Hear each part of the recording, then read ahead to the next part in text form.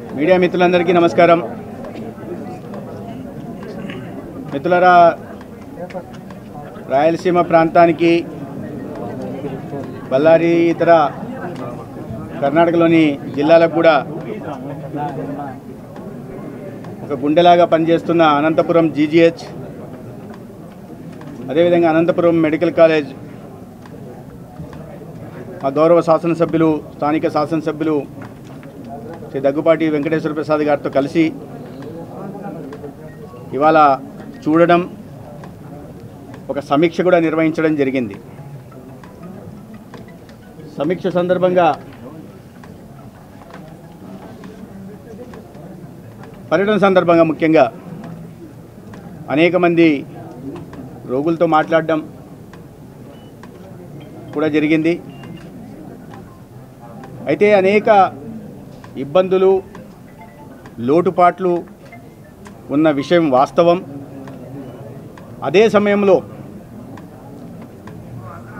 ఈ పరిమితులతో కూడిన మౌలిక సదుపాయాలు కానీ బెడ్ల సంఖ్య కానీ ఇతరత్ర స్టాఫ్ అది మెడికల్ స్టాఫ్ కానీ నర్సింగ్ కానీ పారామెడికల్ కానీ ఫార్మసిస్ట్ కానీ ఇతర గ్రూప్ ఫోర్ స్టాఫ్ కానీ కొరత ఉన్నప్పటికీ కూడా ఒక నాణ్యమైన సేవలని అనంతపూర్ జీజీహెచ్ మెడికల్ కాలేజ్ అందిస్తున్న విషయాన్ని నేను పత్రికాముఖంగా తెలియజేయదలుచుకున్నాను ఎందుకు నేను ఈ మాట అంటున్నానంటే ప్రభుత్వంలో ఉన్నారు ప్రభుత్వ శాఖకు సంబంధించిన మంత్రి సో ప్రభుత్వ ఆధీనంలో ఉంటున్న సర్వజన ఆసుపత్రి గురించి మంచిగా చెప్తారని అనిపించవచ్చు. ఎందుకంటే ప్రజల్లో ఒక భావన వేరే విధంగా ఉంది. అయితే ఇక్కడున్న వైద్య సిబ్బందికి కూడా పరిమితులున్న విషయాన్ని నేను ఈ సందర్భంగా తెలియజేయదలుచుకున్నాను. దశాబ్దాలుగా ఈ ఆసుపత్రి ఉంటున్నప్పటికీ ఐదు వందల అరవై బెడ్లు మాత్రమే శాంక్షన్డ్ బెడ్లు మాత్రమే ఈ ఆసుపత్రిలో ఉన్నాయి. కానీ ప్రతిరోజు ఓపీ రెండు వేల నుంచి మూడు వేలు రావడం ఇన్పేషెంట్లు కనీసం పదహైదు వందలు ఉండడం దాని కారణంగా ఫంక్షనల్ బెడ్స్ని పదకొండు వందలు ఫంక్షనల్ బెడ్స్ చేసి దాంతో సేవలు అందించే ప్రయత్నం చేస్తూ ఉన్నారు. అంటే నేను ఎందుకు చెప్తున్నానంటే ఇటువంటి పరిస్థితులు ఉన్నప్పటికీ కూడా సరైన సిబ్బంది లేకపోవడం బెడ్లు లేకపోవడం మౌలిక సదుపాయాల కల్పన లేకపోవడం ఉన్నప్పటికీ కూడా నాణ్యమైన సేవల్ని ఆసుపత్రిలో అందిస్తున్నారనే విషయాన్ని నేను తెలియజేస్తున్నాను. అదే సమయంలో వస్తున్న పేషెంట్లకి ఇబ్బందులు కలుగుతున్న వా- మాట కూడా వాస్తవమే. అయితే రాజకీయాలు నేను మాట్లాడట్లేదు కానీ ఎప్పుడో రెండు వేల పంతొమ్మిదిలో మెటర్నిటీ చైల్డ్ హెల్త్ గురించి చైల్డ్ హెల్త్ బ్లాక్ మంజూరైతే దానికోసం మూడు వందల కోట్లు కూడా మంజూరైతే ఈనాటికి పునాది కూడా వేయలేదంటే గతంలో ప్రభుత్వం పేదల ఆరోగ్యం గురించి ప్రజా ఆరోగ్యం గురించి ఎంత మాత్రం చిత్తశుద్ధితో పనిచేస్తుందో మనం అర్థం చేసుకోవాలి.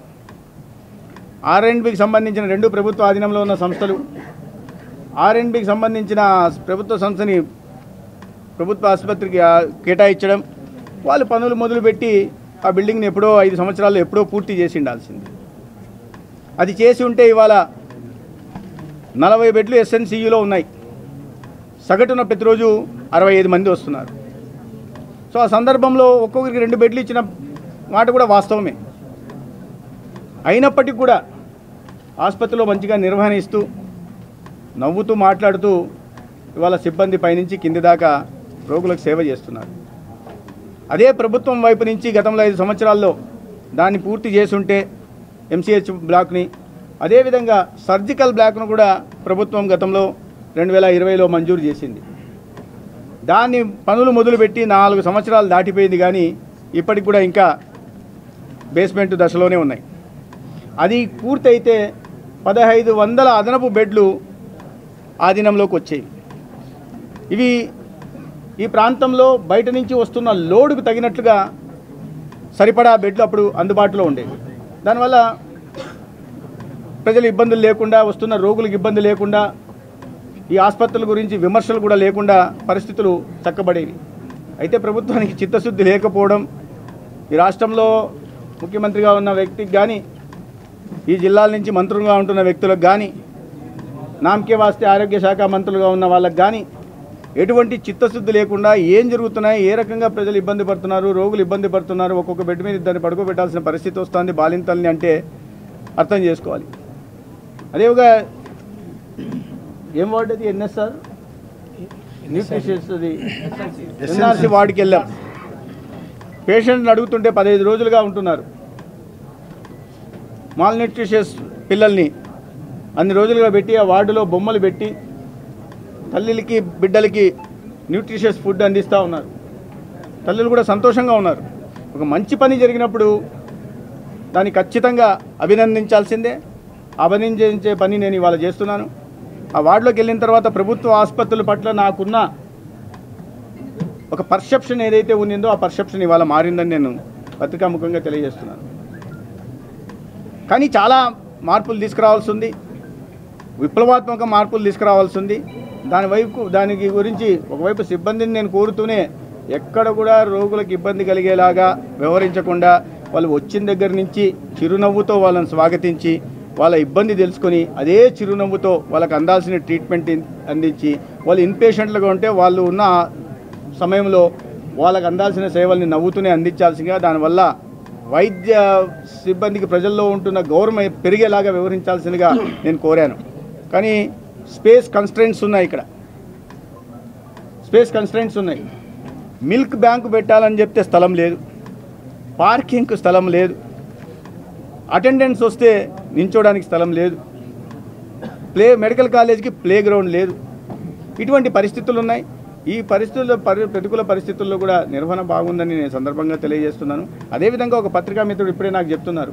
సూపర్ స్పెషాలిటీ సేవలు ఏ రకంగా అందిస్తున్నారు అనంతపురం ఆసుపత్రిలో అనే విషయాన్ని వారు చెప్తున్నారు. ఒక కరీంనగర్ జగిత్యాల నుంచి వచ్చిన పేషెంటు అనంతపూర్కి వస్తే పది లక్షల ఖరీదు చేసే న్యూరో సర్జరీని ఇక్కడ ఉచితంగా చేశారు. ఆ పేషెంట్ సంతోషాన్ని వ్యక్తం చేశారు. మేము ఇక్కడికి వెళ్ళి ఆ వీడియో తీసుకొచ్చామని నాకు చెప్తుంటే నిజంగా ఆంధ్రప్రదేశ్ ఇప్పుడు జరుగుతున్న పరిస్థితుల మీద నాకు నిజంగానే సంతోషం అనిపించింది. ఇదే ఇది ఇంకా గత ఐదు సంవత్సరాలు కొద్దిగా చిత్తశుద్ధితో పనిచేస్తుంటే పరిస్థితుల్లో సమూలమైన మార్పులు వచ్చేవి. అయితే ఇటువంటి ప్రతికూల పరిస్థితులు కూడా కేంద్రంలో ఎన్డీఏ ప్రభుత్వం రాష్ట్రంలో కూడా ఎన్డీఏ ప్రభుత్వం ఉంది. పైన కూడా ప్రజారోగ్యానికి అత్యధిక విలువనిచ్చి ఒక ప్రపంచంలోనే ఎక్కడా లేని విధంగా ఒక లార్జెస్ట్ ఇన్సూరెన్స్ స్కీమ్ తీసుకొచ్చి ఆయుష్మాన్ భారత్ పేరుతో యాభై ఐదు కోట్ల మందికి ఉచిత వైద్యం అందించే ఒక ప్రజల గురించి ఆలోచించే ఒక దార్శనికత కలిగిన నాయకులు ప్రధానమంత్రిగా ఉన్నారు. అదేవిధంగా ప్రజలకు ఎటువంటి సమస్య రాకూడదు. నాణ్యమైన వైద్యం అందుబాటులో ఉండాలి. ప్రజలు ఇక్కడ ఆరోగ్యంతో వర్ధిల్లాలి అనే భావంతో పనిచేసే ఇంకొక అభివృద్ధి ప్రదాతగా ఉంటున్న చంద్ర చంద్రబాబు నాయుడు గారు ముఖ్యమంత్రిగా ఉన్నారు కాబట్టి ఈ రెండు ప్రభుత్వాల దీంట్లో మార్పు తీసుకొచ్చే ప్రయత్నం చేశాం. అన్ని విధాలుగా ఏ పథకం కింద ఏ పథకం కింద ఎన్హెచ్ఎం పథకం కిందనా లేకుంటే ఫిఫ్టీన్త్ ఫైనాన్స్ కమిషన్ కిందనా లేదా ఇతరత్ర పథకాల కింద అనేక పథకాలు ఉన్నాయి. వాటి కింద ఏ రకంగా నిధులు రాబట్టుకోవడానికి ప్రయత్నం చేయొచ్చు అని చూస్తున్నాయి అదేవిధంగా ఇంటర్నేషనల్ ఏజెన్సీస్ నుంచి కూడా సహాయక సహకారాలు తీసుకునే ప్రయత్నం చేస్తాం. నేను ముఖ్యంగా అనేక మంది గతంలో దాతలు ఈ వైద్య విద్య గురించి చాలా ఉదారంగా దానం చేసేవాళ్ళు. ఇటీవల పరిస్థితులు మార్పు వచ్చాయి. చేయడానికి చాలామంది ముందున్నారు. అయితే నేను ప్రభుత్వం తరపున ఎన్డీఏ ప్రభుత్వం తరపున వాళ్ళందరికీ నేను చేస్తున్న అప్పీల్ ఏంటంటే మీరు ముందుకు రండి. ప్రభుత్వం వైపు నుంచి అందాల్సిన సహకారం మేము అందించే ప్రయత్నం చేస్తాం. ఇవాళ ఒక యజ్ఞం రాష్ట్రం విడిపోయిన తర్వాత జరిగిన అన్యాయాన్ని సరిచేయడానికి ఒక యజ్ఞం చేసే పరిస్థితి ఉంది. ఐదు సంవత్సరాల్లో గత ఐదు సంవత్సరాలు జరిగిన విధ్వంసాన్ని సరి చేయడానికి కూడా ఒక యజ్ఞం చేస్తున్నాం. ఆ యజ్ఞంలో మీరు కూడా భాగస్వాములుగా అండి కాస్త ఉదారంగా ముందుకు రావాలని కోరుకుంటూనే అనేక మంది నేను ఇవాళ ప్రిన్సిపాల్ గారిని కూడా కోరాను. మీ అల్యుమ్ని అసోసియేషన్ వివరాలు ఇవ్వండి. మేము వాళ్ళని కూడా ముఖ్యమంత్రి గారి ద్వారా అప్పీల్ చేస్తాం. చేసి అయ్యా మీ కాలేజీలో చదివారు. మీకు ప్రభుత్వం మీ మీద ఒక్కొక్కరి మీద దాదాపు ఒక సగటున ఒక డాక్టర్ మీద అరవై ఆరు లక్షలు ప్రభుత్వం ఖర్చు పెడుతుంది. మీరు మళ్ళా you should give back to the society ప్రభుత్వం అంటే ప్రజల నుంచి వచ్చిన డబ్బు. ఆ డబ్బుతో మీరు డాక్టర్లు అయ్యి ఇంత పేరు గడించి తర్వాత ఆర్థికంగా కూడా నిలదొక్కున్నారు కాబట్టి మీ ప్రాంతంలో మీరు చదివిన కళాశాలలకి అనేక రకాలు ఉన్నాయి. ఇప్పుడు గ్యాలరీలు లేవు ఇక్కడ. కొత్తగా సీట్లు ఇంకో యాభై సీట్లు పెంచాలంటే ఇన్ఫ్రాస్ట్రక్చర్ డెఫిషియన్సీ ఉంది ఫ్యాకల్టీ డెఫిషియన్సీ ఉంది. వీటిని అన్ని సరిచేయాలంటే ముందుకు రావాల్సింది. ఆడిటోర్ చిన్న చిన్న వాటికి ఎక్కడ ఏసీలు లేని పరిస్థితులు కూడా ఉన్నాయి. అన్ని పీపీపీ మోడల్లో నడపాల్సిన పరిస్థితి ఉంది. ఎక్విప్మెంట్ అవుట్డేటెడ్ ఎక్విప్మెంట్ ఉన్నాయి. కాబట్టి అప్పీల్ నేను చేస్తున్నది ఏంటంటే అల్యూమినియం అసోసియేషన్ వాళ్ళకు కూడా ఒక అనంతపూర్ జీజీహెచ్కనే కాకుండా గుంటూరు కానీ అది కేజీహెచ్లు కానీ లేదా తిరుపతి కానీ లేదా కర్నూలు కానీ ఎక్కడైనా సరే ఈ రాష్ట్రంలో ఈ వైద్య కళాశాలల్లో చదివిన బోధనా కళాశాలల్లో చదివిన అల్యూమినికి కూడా నేను ఈ సందర్భంగా రాష్ట్ర ప్రభుత్వం తర్వాత కూడా అప్పీల్ చేసుకుంటున్నాను. కాస్త ముందుకు రావాల్సిందిగా ఈ పరిస్థితులు చక్కదిద్దడంలో ఈ రాష్ట్ర ప్రభుత్వం చంద్రబాబు నాయుడు గారి నాయకత్వంలో చేస్తున్న యజ్ఞంలో మీరు కూడా భాగస్వాములయ్యి ఒక వికసిత ఆంధ్రప్రదేశ్ నిర్మాణంలో మీరు కూడా తోడ్పాటు అందాల్సిందిగా ఎప్పుడు కూడా అభివృద్ధికి చిరునామాగా ఉంటున్న ఆంధ్రప్రదేశ్ గత ఐదు సంవత్సరాల్లో అవినీతికి చిరునామాగా మారింది. దాన్ని సరిదిద్దే క్రమం జరుగు ప్రయత్నం జరుగుతోంది ఆ ప్రయత్నంలో మీరు అందరూ కూడా భాగస్వాములు కావాల్సిందిగా నేను కోరుతున్నాను. స్పెషాలిటీకి డబ్బులు పెట్టాల్సిన అవసరం వస్తుంది. దానిపై ఏమైనా ప్రత్యేకంగా నిధులు కేటాయిస్తారా? లేకపోతే అసలు బలవంతం బలోపేతం చేసేందుకు ఏ విధంగా చర్యలు తీసుకుంటారు? ఖచ్చితమైన చర్యలు ఇప్పుడు అదే వాటి గురించి సమీక్ష చేయడానికే రావడం జరిగింది. వచ్చిన సందర్భంలో ఇక్కడ అదే నేను చెప్పిన ఇప్పుడు మౌలిక సదుపాయాల కొరత ఉంది ఫ్యాకల్టీ కొరత ఉంది సిబ్బంది కొరత ఉంది. అనేక మంది కాంట్రాక్ట్ ఉద్యోగుల సమస్యలు ఉన్నాయి అవుట్సోర్సింగ్ నీళ్ళలో సమస్యలు ఉన్నాయి. మీరు సూపర్ స్పెషాలిటీ ఇంతమంది నాణ్యమైన సేవలు అందిస్తున్నప్పటికీ అక్కడ కూడా కొరత ఉంది సూపర్ స్పెషలిస్టుల కొరత ఉంది. వీటికి అన్నిటి గురించి అందుకనే ఈ కాలేజీకి ఇంకో రెండు వందల సీ ఇంకో యాభై సీట్లను అదనకంగా కూడా కాలేజ్ తరపున మేము ఎన్ఎంసీ ఇన్స్పెక్షన్ రావాల్సిందిగా కోరుతున్నాం. అయితే ఆ క్రమంలో ఇక్కడ ఉన్న లోటుపాట్లను కూడా సరి చేసుకోవాల్సి ఉంది. ఇన్ఫ్రాస్ట్రక్చర్ డెఫిషియన్సీ కానీ ఫ్యాకల్టీ డెఫిషియన్సీ ట్యూటర్స్ డెఫిషియన్సీ ఇతర ఇతర పారామెడికల్ నర్సింగ్ స్టాఫ్ డెఫిషియన్సీ కూడా ఇది చేయాల్సి ఉంది. కాబట్టి వీటన్నిటిని పూర్తి సమీక్ష చేసిన తర్వాత ఏ రకంగా రాష్ట్రంలో ఉంటున్న ఖజానా ఖాళీ అయిన సందర్భంలో ఇటీవల మేము ఫైనాన్స్ శ్వేతపత్రం ప్రకటించిన సందర్భంలో కూడా ఆరు వందల యాభై కోట్లు ఆరు వేల ఐదు వందల కోట్లు వైద్య ఆరోగ్య శాఖ మీద ఇప్పుడు చెల్లించాల్సిన బిల్లులు ఉన్నాయి అన్న అప్పు గత ప్రభుత్వం పెట్టేసి వెళ్ళిపోయింది. ఇది కాకుండా ఎంతో ప్రతిష్టాత్మకమైన హెల్త్ యూనివర్సిటీ ఎన్టీఆర్ హెల్త్ యూనివర్సిటీలో నాలుగు వందల కోట్లు. యూనివర్సిటీ డబ్బులు అక్కడ మౌలిక సదుపాయాలకు సొంత బిల్డింగ్ లేదు అక్కడ దానికి. దానికోసం కేటాయించిన డబ్బులు ఉన్న డబ్బులను కూడా ప్రభుత్వం దారి మళ్ళిచ్చేసింది. ఒక ఏపీ మెర్క్ కార్పొరేషన్ తీసుకొచ్చి దాంట్లో ఉన్న రెండు వందల కోట్లను కూడా దారి మళ్ళిచ్చేసింది. ఇవన్నీ చూస్తుంటే ఏడు వేల కోట్లకు పైగా ఇప్పుడు చెల్లించాల్సిన బకాయిలు ఉన్నాయి. ఈ ఆర్థిక భారం ఉంది ఆర్థిక వనరుల కొరత ఉంది కాబట్టి వీటిని అన్నిటినీ ఈ పరిమితులను దృష్టిలో పెట్టుకుని కేంద్ర ప్రభుత్వం నుంచి సహారం కోరుతున్నాం. అందుకనే నేను చెప్పింది అనేక మంది ముందుకు రావాల్సింది దాతలను కోరే పరిస్థితి ప్రభుత్వానికి వచ్చిందంటే రాష్ట్రంలో ఉన్న పరిస్థితులను వాళ్ళు తెలియజేసే ప్రయత్నం చేస్తాను. అల్యూమినియం మీరు భాగస్వాములు కావాలని నేను కోరుతున్నామంటే పరిస్థితులు ఈ రకంగా ఉన్నాయి. ఈ విధ్వంసం సరి చేస్తూనే ఒక నాణ్యమైన వైద్య సేవలు అందించి ఆరోగ్యానికి ఆంధ్రప్రదేశ్ చిరునామాగా రాబోయే ఐదు సంవత్సరాల్లో తీర్చిదిద్దుతాం. సూపర్ స్పెషల్ హాస్పిటల్లో రెండు గంటల నుంచి ఐదు గంటల వరకు ఏ వైద్యుడు ఉండడం లేదు. ఏమైనా చర్యలు తీసుకుంటారా భవిష్యత్తులో? ఓపీకి ఏమవుతుందంటే సహజంగా స్పెషలిస్టులు ఉంటారు. వాళ్ళే ఆ సూపర్ స్పెషలిస్ట్లో మీకు ప్రాక్టికల్ ప్రాబ్లం చెప్పే ప్రయత్నం చేస్తున్నాను నేను సమర్థించడం లేదు కానీ ప్రాక్టికల్ ప్రాబ్లం ఇది టీచింగ్ హాస్పిటల్. వీళ్ళే టీచింగ్కి వెళ్ళాలా వీళ్ళే సర్జరీలు చేయాలా? వీళ్ళే ఓపీ చూడాలా? పీజీలు ఓపీ చూస్తే మళ్ళా దాన్ని ఒక ఇదిగా చూస్తారు. పీజీలు ఓపీ చేసి చూసేస్తున్నారని. పీజీలు వెళ్ళి సర్జరీలు చేయలేరు. పీజీలు వెళ్ళి టీచింగ్ స్టాఫ్గా పనిచేయలేరు. కాబట్టి ఆ పరిమితులు లోపడుతున్నాయి ఇప్పుడు అందుకే చెప్పాం పరి పీజీని ఓపీని పెంచడానికి అవకాశం ఉందా అనే దీన్ని కూడా చూస్తున్నాం. అయితే సిబ్బంది కొరత ఉందని చెప్తున్నాను సూపర్ స్పెషాలిటీల కొరత ఉంది. ఆ కొరతను ఇప్పుడు నియామకాలు చేయాల్సి ఉంది కొత్తగా నియామకాలు చేయాల్సి ఉంది ఉంది. ఆ నియామకాలు చేసిన తర్వాత ఖచ్చితంగా ఓపీని పెంచే ప్రయత్నం చేస్తాం. నాణ్యమైన వైద్య సేవలు అందించే ప్రయత్నం చేస్తాం. సార్ ఇప్పుడు ఎంసీఎస్ బ్లాక్ ది సార్ ఎక్స్క్యూజ్ సార్. చాలా విభాగాల స్పెషలిస్ట్ డాక్టర్లు సూపర్ స్పెషాలిటీ ఇందులో చాలా కోర్సులు వాటిని ఏమైనా immediate గా అదే ఆ పోస్టుల గురించే ఇప్పుడు అదే అదే చూస్తున్నాం. అదే ఇక్కడ సమీక్ష చేసిన సందర్భంగానే ఈ విషయాలన్నీ బయటకు వస్తున్నాయి. ముందే రాష్ట్ర స్థాయిలో సమీక్ష చేసి సార్ ఎన్ని లోపాలు ఉన్నాయని మీరే చెప్తున్నారు. మరి ఇలాంటి పరిస్థితుల్లో వాటిని చక్కబెట్టడానికి అవకాశం అవుతుందంటారా? ఖచ్చితంగా అవుతుంది. నేను అదే చెప్పాను ఇంతసేపు చెప్పింది అదే నేను. ఈ లోపాలు ఉన్నాయని చెప్తూనే సరిదిద్దే ప్రయత్నం చేస్తాము. కొద్దిగా సమయం తీసుకొని ఖచ్చితంగా పూర్తి చేస్తాము. ఆర్థిక వనరుల పరిమితులు ఉన్నాయి అప్పు భారం కూడా మంత్రిత్వ శాఖ మీద ఉంది. వీటిని అన్నింటినీ తట్టుకుంటూనే ప్రతికూలను తట్టుకుంటూనే పరిస్థితిని చక్కదిద్దుతామని చెప్తున్నాను. ఏ రకంగా చక్కదిద్దడానికి కూడా నేను చెప్పాను ఆల్టర్నేటివ్స్ ఏమున్నాయనేది.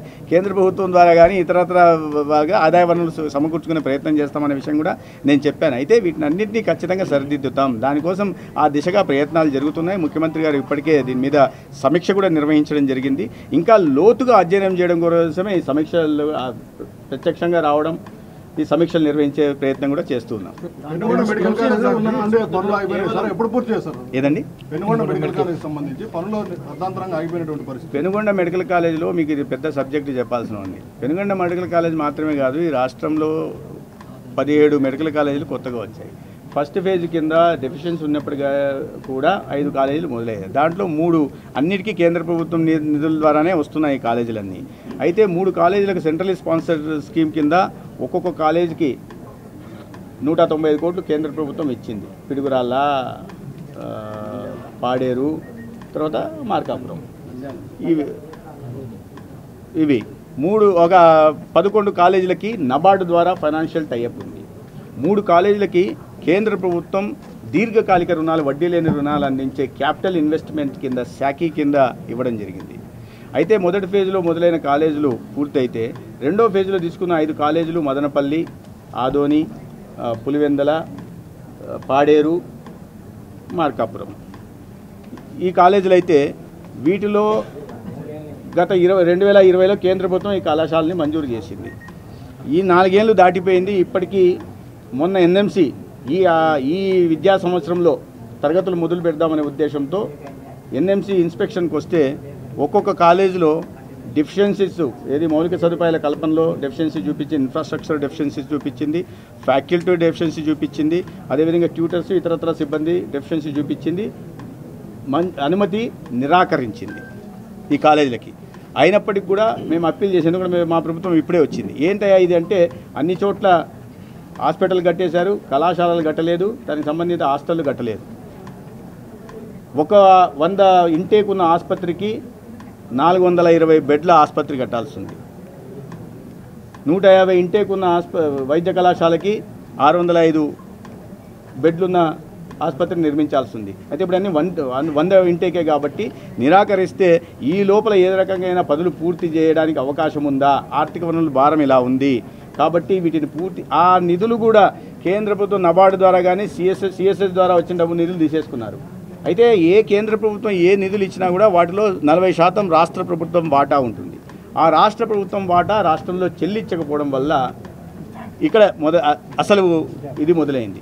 అయితే ఈ రాష్ట్ర ప్రభుత్వం వాటా చెల్లించకపోగా ఈ ఆసుపత్రులు మాత్రం పూర్తి చేసి కళాశాలలను పూర్తి చేయకుండా సిబ్బందిని మెడికల్ కాలేజీలో అదేవిధంగా ఆసుపత్రుల్లో కూడా సిబ్బందిని మాత్రం నియామకం చేశారు. అనేక రకాలైన అవ అవకతవకలు పాడుపడ్డారు ముఖ్యంగా మదనపల్లిలో అయితే దాదాపు మూడు వందల యాభై మంది సిబ్బందిని వాళ్ళ ఈ పెద్దిరెడ్డి ముఖ్య- ఎవరైతే మ- మంత్రిగా ఉన్నారో పెద్దిరెడ్డి రామచంద్రారెడ్డి గారి ఇంట్లో వాళ్ళని వాళ్ళ పార్టీ కార్యకర్తలను నియమించారు. గౌరవ మాజీ ముఖ్యమంత్రి జగన్మోహన్ రెడ్డి గారి నియోజకవర్గం పులివెందుల్లో అక్కడ కూడా అవి పూర్తి చేయలేదు. Faculty deficiency forty eight percent ఉందంటే మీరు అర్థం చేసుకోవాలి. ఏ మాత్రం చిత్తశుద్ధి నియోజకవర్గం మీద ఉందో లేదా ఆ ప్రాంత ప్రజలకి వైద్య సేవలు అందించడం మీద ఉందో అనే విషయాన్ని అర్థం చేసుకోవాలి?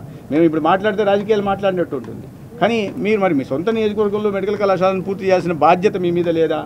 ఇంత డెఫిషియన్సీ ఉంటే మీరు ఎలా ఊరుకున్నారు? ఎందుకు కళాశాల నిర్మాణం చేయలేకపోయారు? ఎందుకు హాస్టల్ నిర్మించలేకపోయారు? ఇవన్నీ లేకపోతే రేపు ఎన్ఎంసీ ఇన్స్పెక్షన్కి వచ్చినప్పుడు ఖచ్చితంగా రిజెక్ట్ చేస్తుందనే విషయం మీకు తెలియదా? తెలిసినా కూడా ఎందుకు నిమ్మకు నీరెత్తినట్టుగా ఉన్నారు? ఇప్పుడు వెనక్కి వెళ్ళిపోతున్నాయి. అయినప్పటికీ కూడా ముఖ్యమంత్రి గారు దృష్టికి తీసుకెళ్తే అప్పీల్కి వెళ్ళమని ముఖ్యమంత్రి గారు చెప్పడం జరిగింది. ఇప్పుడు మళ్ళీ మేము అప్పీల్కి వెళ్ళాం. అప్పీల్కి వెళ్ళి వాటిని పూర్తి చేయడానికి ఆ కాంట్రాక్టర్లు ఎవరైతే పనులు మానేశారో ఆ కాంట్రాక్టర్లను సంప్రదించి ఆ పనులు చేయడానికి వాళ్ళు మోటివేట్ చేస్తూ వాళ్ళు మా బిల్లులు కట్టండి వెయ్యి కోట్ల బిల్లు ఉంది మాకు కట్టండి అంటున్నారు. మొత్తం తొమ్మిది వేల కోట్లు పనులు జరగాల్సి ఉంటే రెండు వేల ఒక్క వంద కోట్లకు మాత్రమే అడ్మినిస్ట్రేటివ్ శాంక్షన్ ఇచ్చి పనులు పూర్తి చేశారు. దాంట్లో దగ్గర దగ్గర వెయ్యి కోట్లు ఇంకా బకాయిలు చెల్లించాల్సి ఉంది. ఇంకా ఐదేళ్ళలో ఏం చిత్తశుద్ధి ఉండింది? ఇప్పుడు ఆ భారం మేము మోయాల్సిన పరిస్థితి వచ్చింది. అపవాదు ఆ నింద మేము తీసుకోవాల్సిన పరిస్థితి వచ్చింది.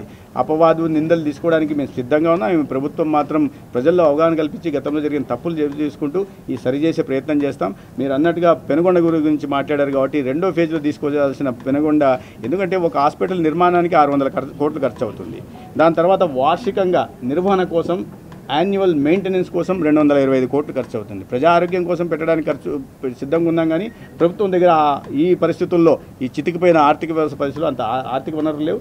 కాబట్టి ముఖ్యమంత్రి గారు ఆ విషయంలో ఒక పీపీపీ మోడల్ కింద తీసుకొచ్చి ఆ ప్రాంతాలకు ఖచ్చితంగా మెడికల్ కాలేజ్ రావాలా? నాణ్యమైన వైద్య సేవ సేవలు అందాలా? పీపీ మోడల్ తీసుకొచ్చి యాభై శాతం ఈ వైద్య సేవకు అందించేలాగా ఆరోగ్యశ్రీగా చెప్పేవాళ్ళు ఎన్టీఆర్ వైద్య సేవకు అందించేలాగా ఒక మోడల్ను తయారు చేయమన్నారు. అదేవిధంగా మేము కూడా కేంద్ర ప్రభుత్వాన్ని సహకరించి వయబిలిటీ గ్యాప్ ఫండింగ్ ఏమన్నా ఇవ్వడానికి అవకాశం ఉందా అడగడం జరిగింది. కేంద్ర ప్రభుత్వం కూడా వైబిలిటీ గ్యాప్ ఫండింగ్ చేయడానికి కొద్దిగా సానుకూలత వ్యక్తపరిచింది. విధి విధానాలు చూడాల్సి ఉంది. అయితే కేంద్ర ప్రభుత్వం దాదాపు ఒక నలభై శాతం ఏమన్నా వైబిలిటీ గ్యాప్ ఫండింగ్ ఇస్తే రాష్ట్రం కూడా వైబిలిటీ గ్యాప్ ఫండింగ్ ఇచ్చేసి ఎవరన్నా ప్రైవేట్ ప్లేయర్ని తీసుకొచ్చి దాన్ని పూర్తి చేసి ఒక నాణ్యమైన వైద్య విద్యను అందించాలి అనే చిత్తశుద్ధితో చంద్రబాబు నాయుడు గారి ప్రభుత్వం చిత్తశుద్ధితో ఉంది. దానికోసం కేంద్ర ప్రభుత్వం నుంచి కూడా సహకారం అందుతా ఉంది. తీసుకోవాలి. ఎందుకంటే దాని మీద రివ్యూ ఇప్పుడు లేదా ఇప్పుడే అదే ఇప్పుడు ఇప్పుడు దాని సమీక్ష సందర్భంలోనే తెలిసింది మెటర్నిటీ చైల్డ్ ఏ ఖచ్చితంగా వస్తుందండి. మీరే రాయాల్సిన పరిస్థితి వస్తుంది ఖచ్చితంగా వస్తుంది. ముందు దాన్ని ఆర్ఎండ్బి మంత్రి ఉన్న తక్షణ కర్తవ్యం దాన్ని ఆర్ఎండ్బి నుంచి హ్యాండ్ ఓవర్ చేసుకోవడం అప్పచెప్పడం పనులు మొదలుపెట్టే ప్రయత్నం చేస్తాం. అయితే ఆ మూడు వందల కోట్లు శాంక్షన్ అయిన మూడు వందల కోట్లు ఇప్పుడు ఎక్కడ ఉన్నాయనేది కొద్దిగా వెతకాల భూతద్దం వేసి టెలిస్కోప్లో ఎతకాల్సిన పరిస్థితి ఉంది. ఆ ఆర్థిక వరం ఉన్నప్పుడు కూడా ఖచ్చితంగా వాటిని పూర్తి చేస్తాం. ఇక్కడ నుంచి సర్జికల్ వార్డుని కూడా పూర్తి చేస్తాం. సర్జికల్ బ్లాక్ని అదే ఎంసీహెచ్ బ్లాక్ని కూడా పూర్తి చేస్తాం. అదేవిధంగా సూపర్ స్పెషాలిటీలో ఉన్న కొరతలు కూడా తీర్చే ప్రయత్నం చేస్తాం. మంచి ఇది చేశారు సార్ అప్పీల్ మీరు. బాస్ ఎవరో ఒకరు చెప్పండి బాస్. ప్రభుత్వ సర్వజన ఆసుపత్రిలో కేవలం మూడు టాబ్లెట్స్ మాత్రమే అందిస్తారు. ఏ రోగం పోయినా సర్వరోగ నివారణి ఒకటే పారాసిటమాల్ డైక్లోఫినాక్ సిట్రిజిన్.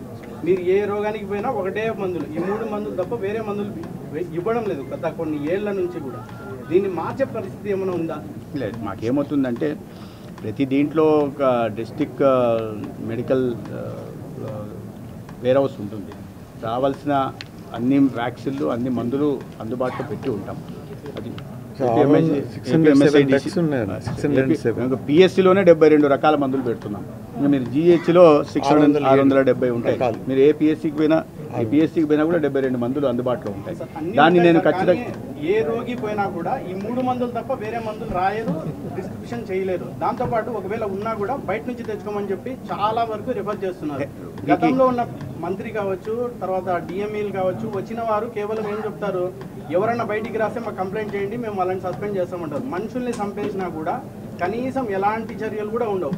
అంతా ఒకటే ఈ ఏం చేస్తారంటే చిన్న నివేదిక ఇస్తారు. ఎవరిది ఏం తప్పు లేదు వాళ్ళదే తప్పై వాళ్ళే చనిపోయినారని చెప్పి రాసి పంపించేస్తారు. ఇలాంటి పరిస్థితులు మనం అంటే విమర్శ చేయడం తప్పు లేదు ఏదైనా తప్పులు ఉంటే దాన్ని ఎత్తి చూపడంలో కూడా తప్పు లేదు. అయితే ఇక్కడ సమస్య ఏంటంటే డాక్టర్లు ప్రాణం నిలపగలరు కానీ ప్రాణం పోయలేరు ప్రాణాన్ని నిలిపే ప్రయత్నం ఖచ్చితంగా చేస్తారు. మీరు అన్నట్టు ఎక్కడన్నా ఇట్లాంటి లోటుపాట్లు ఉంటే వాటి మీద చర్యలు ఖచ్చితంగా ఉంటాయి. అయితే ఏ దీనికి వెళ్ళినా కూడా మందులు మీరు రోగికి వచ్చిన జ్వరానికి తీసుకెళ్ళి వేరే ప్రూఫ్ ఇదే ఇస్తారు కాబట్టి ప్రోసినే ఇస్తారు కానీ వేరేది ఇవ్వమంటే ఇవ్వలేరు కదా. దేనికి అవసరమో అది ఇచ్చే ప్రయత్నం చేస్తారు. వీటిని అదే ఇట్లాంటి లోటుపాట్లు ఉంటా ఉన్నాయి. కొద్దిగా ఉదాసీనత కూడా ఉదాసీనత కూడా అన్ని ఆసుపత్రుల్లో ఉంది. ఎందుకంటే ఒక సరైన మానిటరింగ్ లేకపోవడం వల్ల ఉదాసీనత ఉన్న అలసత్వం ఉన్న మాట కూడా వాస్తవం.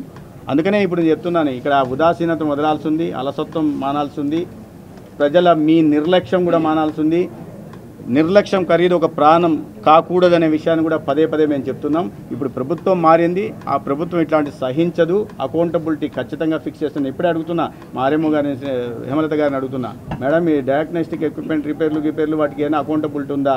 ఇన్వెంటరీ మెయింటైన్ చేస్తున్నారా? అని ఇన్వెంటరీ ఉంది అన్నారు. నేను మళ్ళీ వాటిని చూస్తాను. చూసిన తర్వాత వీటిని అన్నింటిని సరి చేస్తాం. ఒక మానిటరింగ్ సిస్టమ్ ఖచ్చితంగా ఏర్పాటు చేస్తాం. దానికి అనుగుణంగానే చర్యలు ఉంటాయి. ఎక్కడైనా త- తప్పు ఒప్పులు ఉంటే మాత్రం ఖచ్చితంగా చర్యలు ఉంటాయి. ఒప్పు ఉంటే ఒప్పు ఉంటే అభినందిస్తాం తప్పు ఉంటే మాత్రం ఖచ్చితంగా చర్యలు తీసుకుంటాం.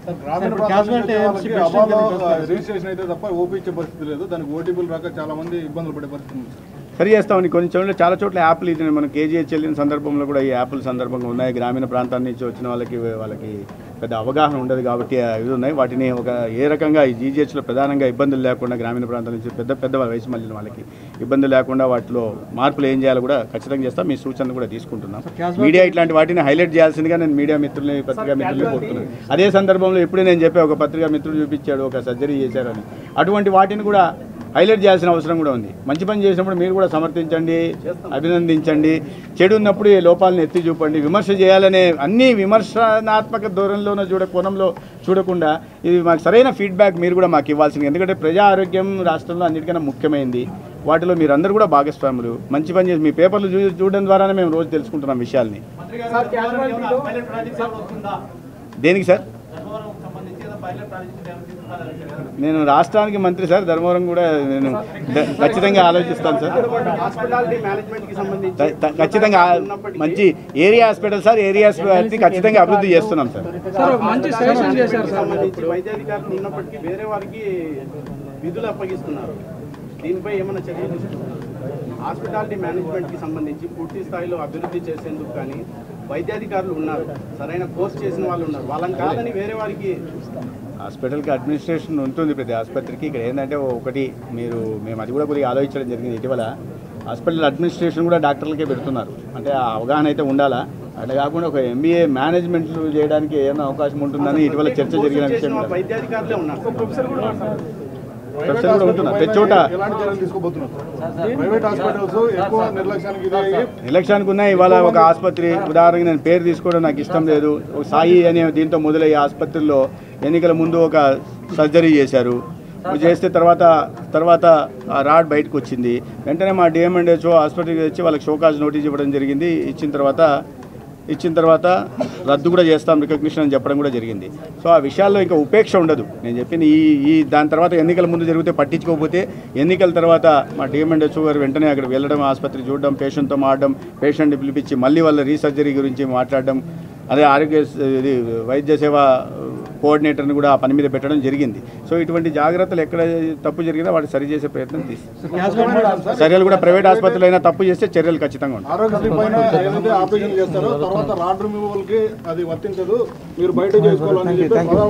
అది అన్నారని తెలిసింది కానీ తప్పు వాళ్ళు వర్తించదంటే ఒకసారి చేసినప్పుడు తప్పు జరిగినప్పుడు సరి చేయాల్సిన పని కూడా వాళ్ళదే.